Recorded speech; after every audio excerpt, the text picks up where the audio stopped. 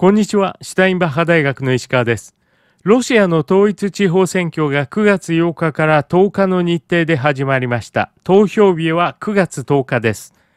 クレムリンは与党である統一ロシアの勝利を演出しようと必死に工作を行っていると伝えられています。今日はこのことについてお話しします。ロシア国営タス通信によれば2023年9月8日ロシアでは連邦下院議員の補欠選挙及び地方選挙が始まりました。投票日は9月10日です。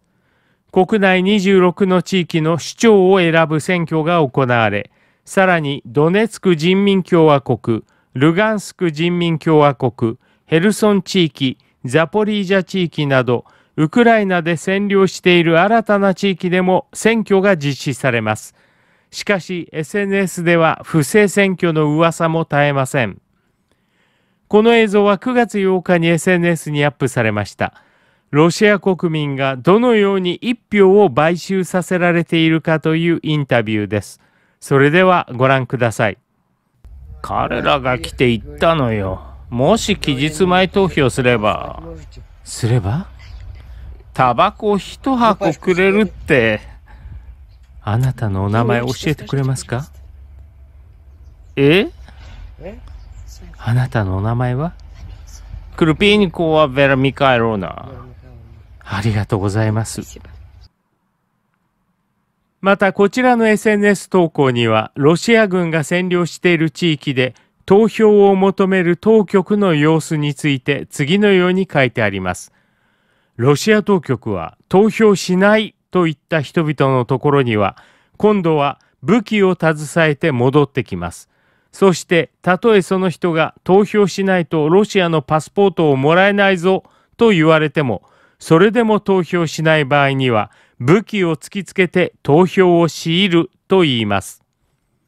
ロシアのメディアインテルファクス通信によりますと、9月9日、ウラジーミル・プーチン大統領は、モスクワ市長選に大統領執務室からオンラインで投票しました。大統領がパソコンで投票すると、1秒後に、ありがとう、投票に成功しました。という言葉が大統領のパソコン画面に表示されました。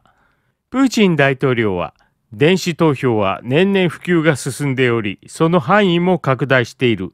ますます多くの有権者が電子投票を信頼し、活用していると述べました。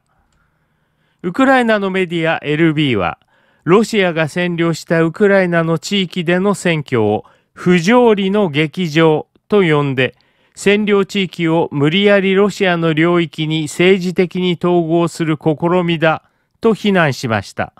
そして占領地での議事選挙は違法であり、法的に無効であり、国際法とウクライナの法律の規範に違反しているという論説を載せました。